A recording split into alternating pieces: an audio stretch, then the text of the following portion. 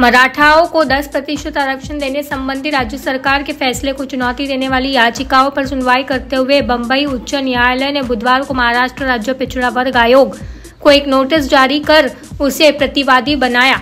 मुख्य न्यायाधीश डी के उपाध्याय, न्यायमूर्ति जी एस कुलकर्णी और न्यायमूर्ति फिरदोस उनीवाला की पूर्ण पीठ ने आयोग को भी पक्षकार बनाया और नोटिस जारी किया। मराठाओं को 10 प्रतिशत आरक्षण देने संबंधी राज्य सरकार के फैसले को चुनौती देने वाली याचिकाओं पर सुनवाई करते हुए बम्बई उच्च न्यायालय ने बुधवार को महाराष्ट्र राज्य पिछड़ा वर्ग आयोग को एक नोटिस जारी कर उसे प्रतिवादी बनाया। मुख्य न्यायाधीश डी के उपाध्याय, न्यायमूर्ति जी एस कुलकर्णी और न्यायमूर्ति फिरदोस उनीवाला की पूर्ण पीठ ने आयोग को भी पक्षकार बनाया और नोटिस जारी किया।